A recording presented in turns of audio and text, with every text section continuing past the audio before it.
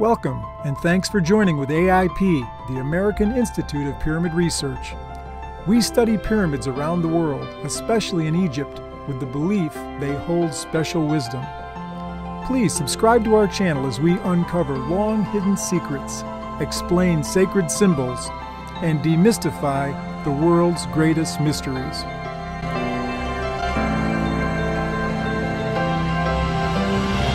Important. Yeah. Always, especially in this group Yeah. around this table. That's right. so, um, so this one does. The song is called "Where's My Love." I'll just get it rolling while we're talking here.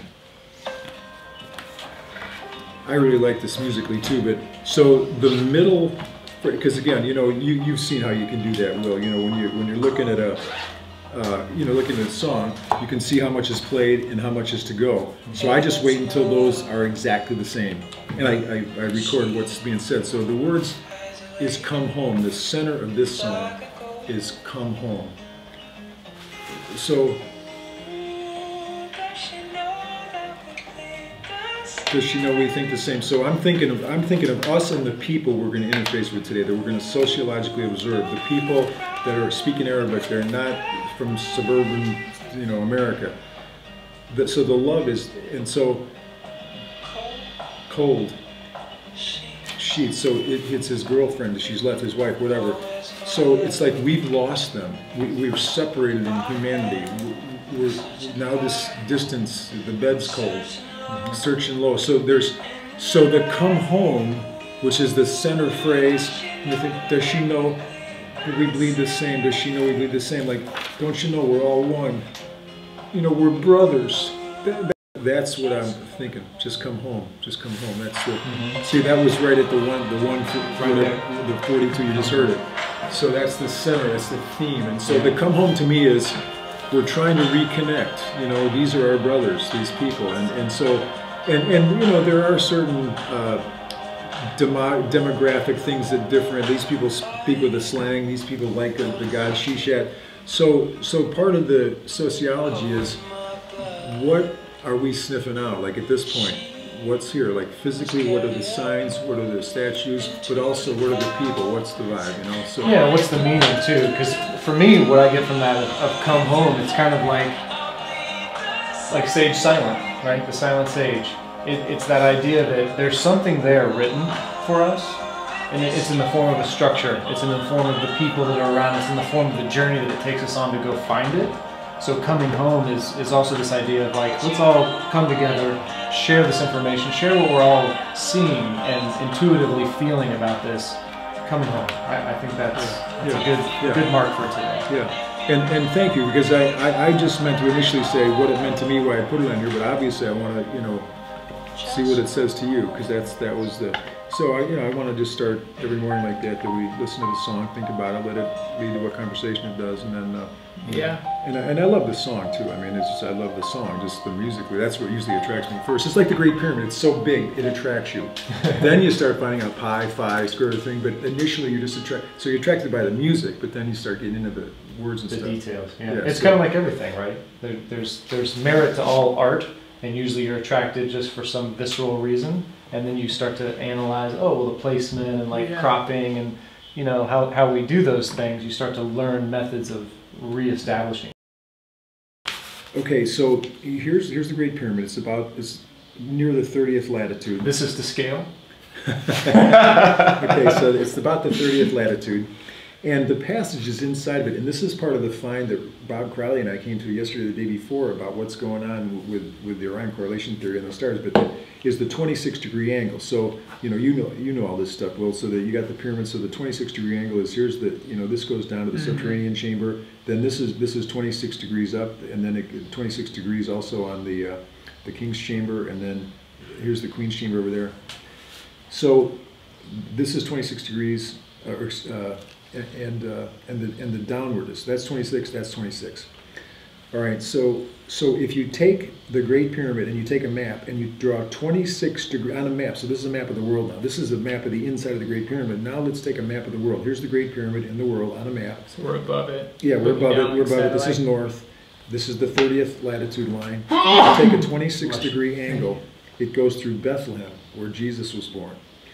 And Um, so I- I've known that for a long time. People that have studied have said that. I started to get into actually what Robert Grant did when he went through his, he got rejected by a bunch of people, it turned him inward, he got, when he got into his math and art side that he's into now. He was just an extrovert business guy, but that rejection from his, who he thought were his closest friends drove him inward. So now that we're getting the gift of the inward stuff that he's coming out with, that led him to, if you heard him talk about it, I had to go back and prove that one to one was two. He started back at zero. He, he went back to kindergarten and one plus one is two. And he, okay, I got that. Now what's two plus two? It's four. Okay, I got that. He really did. I mean, that's the way he explains it. So I went back to say, you know what? I've just taken the word of all these people. Maybe that's not 26 degrees. We have Google Earth now. They didn't back there. These guys that, that came Yeah. up with this. And I wasn't finding 26 degrees. Okay. And I thought, holy crap, I've set, set a birth and stuff. And then, and, and then uh, this lady in my area, if you do if you do a search right now, you do a Google search, you know, Bethlehem, Great Pyramid, her pictures will come up. You go to images. Uh, her name is uh, Helen, Helena Lehman, and she lives near me in Chicago. And so I, she's drawn some of the most beautiful maps that she drew herself that, that will come up on Google that showed the 26 degrees. So I contacted her and I said, Helena, well, I've, I had already contacted her when I realized that we were, she writes about Enoch a lot too. So I'd already met with her. Then when I, this came up, I said, how did you get the 26 degrees, 18 minutes? Because that's what it is. It's 26 degrees, 18 minutes, 10 seconds. That's the actual angle. 26 degrees, 18 minutes, 10 seconds.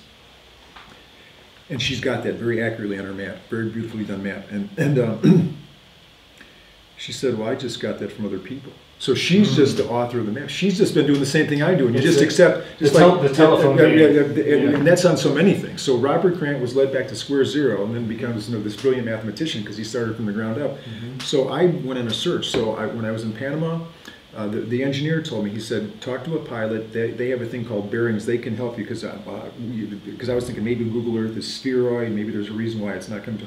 So I contacted Don Fulton, a good friend of mine, who's a Copa pilot in Panama, and we had breakfast together. And he more or less said, that that bearing thing, no, I can't really help you. We got we do everything by instruments. We said, here's a guy, you know, Drake Sprague, who makes maps and he does works works with Aboriginal people and stuff. He goes out and he does all over the world. So I contacted Greg. He's a friend of Caleb's, my son. We met, had breakfast. He drew me a map. I gave him forty bucks for it. He made a map from what I told him. I said, I want the Great Pyramid on there. I want Bethlehem on there. I want Jerusalem on there. And he so he made the map. He titled it Middle East, but all that's on there is the Great Pyramid. But it's but to scale and everything. Okay. And I did that. Twenty-four degrees. 24. 24. So that which is way off of twenty-six. Okay. Yeah. So, so then I thought, okay, then I'm really, I'm really been hoodwinked al- along with everybody else. But then I went back to Google Earth, and for some reason I was finding it. I was finding it everywhere. It is 26 degrees. I became like convinced, like this is Google Earth. That's 26. It is. And then I got my engineer friend in the Philippines, Bob Criley, on. He goes, that's 26. It's 26 point. Like it's, it's. As a matter of fact, he was saying it's 26.5. So if you if you take you know minutes and seconds and put it to decimal, 26 degrees, 18 minutes, 10 seconds is 26.3. Okay. I can show you how you make that conversion, but it's 26.3. He was finding 26.5.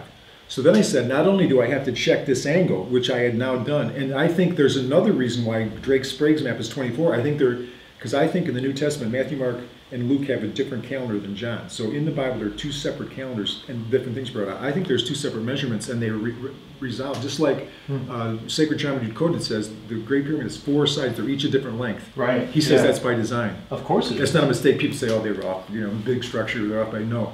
Yeah. That allows both pi and phi, which are sort of incompatible in a sense. It's both a pi and phi coexist, pyramid, the, yeah. the, the coexist. And so, so I think there could be something with the 24 and the 26, but back to the, Goo- I became convinced it is right. So now I really earned it. It's not me quoting a map like Helena Lehman. Put the Just- legwork in to Yeah, find but out the like, real- it, it really is. It really does point. And Bob Crowley found it in, in the stars too. I'll show you that, the Orion stars, but that's, that's a different thing.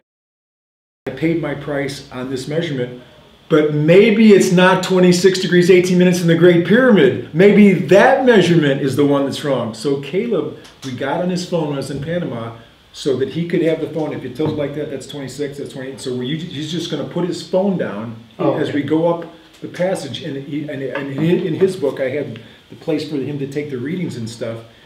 So we're going to check and see what because I found one on internet. You know, it's always been that they're the same. That the the floor line in the first ascending passage is the same floor line as the Grand Gallery. So that's always been they have the same angle. But I found one online that gave a slightly different angle for the, the, the Grand Gallery than it did for the first ascending passage. Really? So I thought, how did they get that? I've never ever seen it. can see that there is a slight difference in the angle of the first ascending passage and the Grand Gallery. Uh, the Grand Gallery, as you notice here with this uh, uh, sort of red colored star, is 26 degrees 16 minutes uh, 40 seconds, whereas the first ascending passage gives 26 degrees 18 minutes 10 seconds, which is the one that's usually given. So you can Everybody always says they have the same floor, even though there's two different compartments, they have the same floor. Now, on the first ascending passage, they've got, you know, wooden planks that the government's put in there, and it might be hard, but, you know, if you take a wood, if, let's say this is the surface we're measuring, but you put a wooden plank on it, if that's totally down, you're gonna get about the same measure of measuring the plank as you would get if you were doing that, but still, it's, it's not gonna be perfect. So anyways, I was gonna at least have my own data, because again, I got Bob Criley telling me who did, who triangulated and everything, it's twenty-six point five. Well, the 26, 18, 10 is 26.3. That's what led me to think, I, okay, I checked out to my satisfaction now. It is, the, the Great Pyramid does point 26 degrees to Bethlehem. That's a given to me. That's a fact now. I accept it. But tomorrow, that's one of the pieces of research we're going to do. What is that actual angle? Perfect. Because if that's different than 20, it might be that because the shifting and stuff, it might be a little different. And we're going to get the numbers on. So, anyway, so that's, that's tomorrow. So I've said that. So, um,